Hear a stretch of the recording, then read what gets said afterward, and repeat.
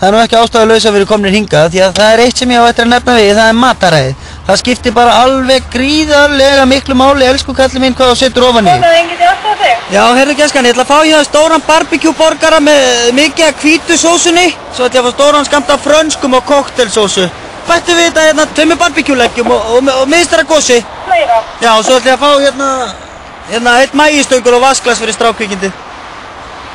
Það er 1830 ykkur 1830? Já. Ef að segja 1500 og málið er dött? Já, ég menna, ég verð nú að viðkynna það að strák ormurinn er búinn að standa sér vel í mataræðinu, það er ekki það. Ég menna, það er ekkert grín að koma henni til Íslands og þurfa að fara að passa upp á það líka, en ég menna, þetta er bara krúsjál atrið, sko.